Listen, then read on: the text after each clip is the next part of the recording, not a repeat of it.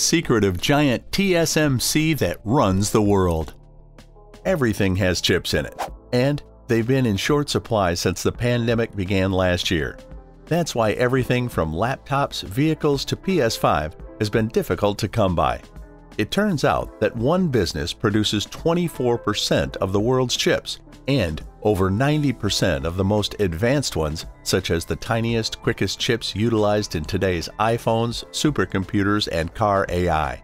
Taiwanese Semiconductor Manufacturing Business, or TSMC, is hardly a household brand, but it is a vast industry worth almost $100 billion in 2021. It quietly manufactures processors for every new iPhone and every new US fighter jet, the most advanced processors. It's all there. And now, in the middle of the shortage, it's investing $100 billion over three years to scale up production. Although our combined output exceeds 12 million wafers per year, the world's overwhelming reliance on TSMC may leave the global chip supply vulnerable to earthquakes, floods, and geographical problems with China. A Chinese takeover in Taiwan could give Beijing some control over one of the world's most important industries. We are nearly always denied access to TSMC's manufacturing facilities. The overall space for this fab has been incorrect up to now. The area is 2.3 million square feet.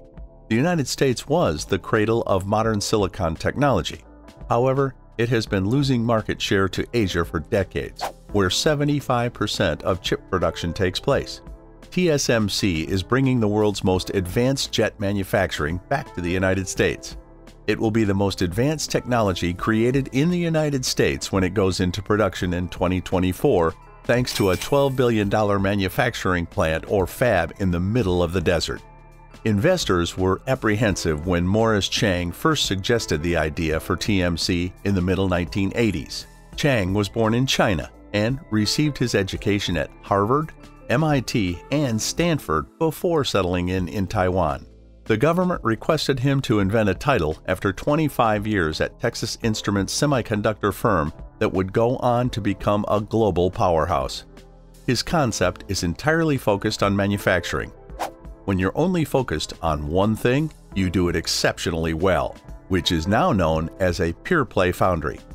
Rick Cassidy, TSMC's top executive in the United States, has worked for the firm for 23 years.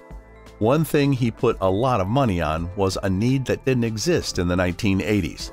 When he founded TSMC in 1987, industry powerhouses like Intel and Texas Instruments took pride in inventing and manufacturing their own chips. A rumor in the industry at the time was that the real men have weight. When Morris went out to look for money, he went out to a lot of well known companies, and they all told him, Morris, your idea isn't going to work. Intel, for example, still designs and makes its own chips, but it's fallen behind Samsung and TSMC in recent years, even relying on TSMC to make some. So if you were a smart designer, you didn't have to have billions of dollars in a fab behind you for the first time with the emergency TSMC. Now, each major step of chip making is often handled by a separate company. There are hugely successful, amazing chip businesses like Apple, Qualcomm, Nvidia, and others. As these great companies grew, TSMC found itself on a flywheel, producing an increasing percentage of the world's chips, and this is a TSM with a lot of volume.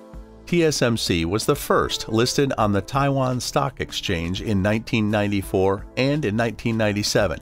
It became the first Taiwan company listed on the New York Stock Exchange by the year 2000.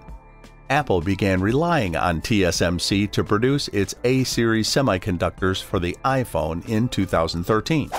Apple has shifted away from dependency on Samsung, a direct competitor in mobile phones today, and now includes a TSMC processor in every iPhone on the market. TSMC is now in charge of producing the chips inside, not only TSMC, but also for other companies in the industry. Next year, TSMC is in a race with Samsung to make the world's first 3 nanometer chips with Intel planning to get there by 2025. Along with cutting-edge 3 and 5 nanometer chips.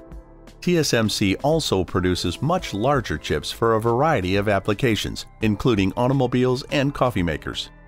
To understand the many types of chips and why nanometers are important, consider how plentiful elements found in rocks and sand are refined and melted down. The crackers were then split into circular rounds. These plates are the grid-like surfaces on which semiconductors are made. Each chip on the plates can have hundreds of tiny layers, each made up of transistors and electrical circuits, which determines what the chip can do. More processing power can be packed into a smaller space while using less energy. The tiniest transistors are 10,000 times the width of a human hair. The chips are probably the size of one of my thumbnails. It's possible that you have up to 50 billion lost transistors, and they're all required to work. These are parts that are going to be used in lots of different places CPUs, GPUs, IPSs, etc. They'll all be used in smartphones. Bigger chips are used in most household devices, things like a TV remote or electric toothbrush. Cars often use less advanced 28 to 40 nanometer chips, and all types of chips have been impacted by the shortage. As a result, you can see how these objects are not only capital sensitive, but also have a considerable output. TSMC has spent the last six months constructing a gigantic 5 nanometer fab south of Phoenix, which will produce 20,000 wafers each month beginning in 2024. According to the Arizona project head, semiconductors from the wafers will end up in iPhones, high end processors, and much more. In his 23 years at TSMC, Tony Chen has led 17 additional fab construction projects. Financial meters are the focus of the initiative. We've done so. It's only a short distance away. Intel is now investing $20 billion in the construction of two new fabs. The world's largest equipment has been brought to Arizona by these huge facilities used to create the microscopic chips.